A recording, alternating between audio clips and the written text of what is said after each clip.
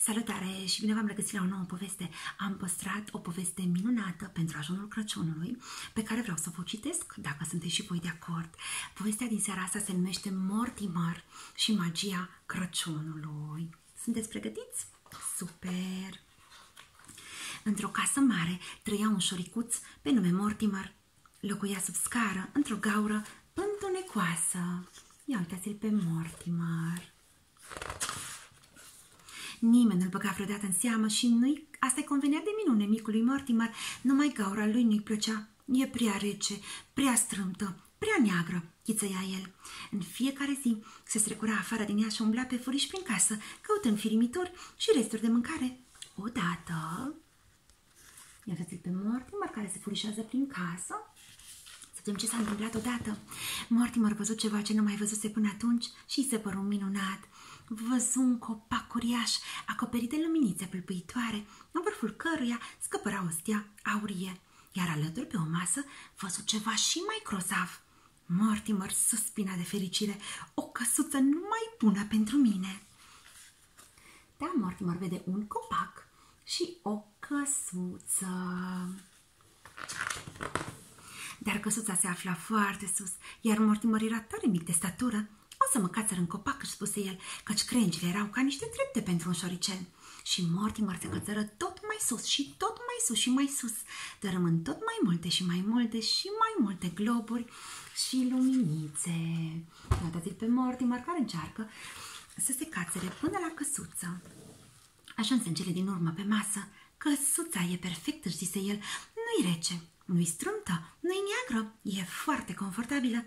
Dar voi cine sunteți? Mortimer nu văzuse niciodată oameni atât de mici, abia dacă erau mai înalți decât el, și nu văzuse nici animale atât de ciudate. Cioc, cioc, cioc! Bătu el în perete, dar nu-i răspunse nimeni. Da, ia uitați-vă ce vede el în căsuță și bate. Cioc, cioc, cioc, dar nu-i răspunde nimeni. Cioc, cioc, cioc, nimeni nu se clinti. Aha, chițăi Mortimer, m-am prins, nu sunteți adevărați, sunteți statui și trase și împinse, una după alta, scoase statuetele afară din căsuță. Ia uitați-l pe Mortimer cum se chinuie acolo să scoate statuile afară din căsuță. Când ajunse la cea mai mică, văzut că aceasta era un bebeluș. Un bebeluș pus într-un pătus de lemn exact de mărimea unui șoricel.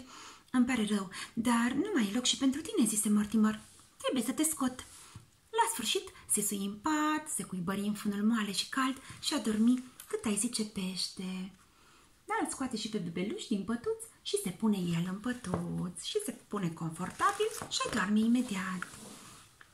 A doua zi, umblând ca de obicei prin casa cea mare, Mortimer găsi tot felul de bunătăți, fărâme de prăjitură, firimituri de cozonac și chiar un drops mentolat. Dar când se cățără seara noua lui căsuță, găsi statuile puse la loc. Da, ia uitați-le din nou pe statui în căsuță și Mortimer cățărat în brad. Nu, nu și nu, chițăi Mortimer, nu se poate, e unde mai în cap. Așa că trase și împinse până când scoase toate statuile din căsuță și vă rog nu mai intrați la loc, spuse el.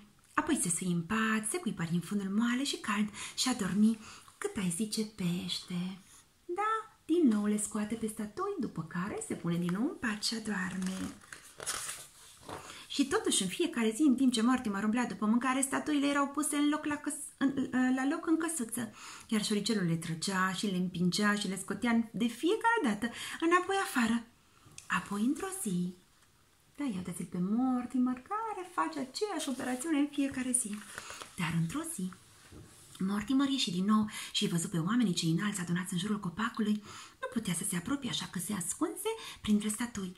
Un bărbat început să vorbească, șoricelul ascultă și ceea ce auzi se păru minunat. Fiindcă e seara de ajun, am să vă spun povestea nașterii Domnului, zise bărbatul.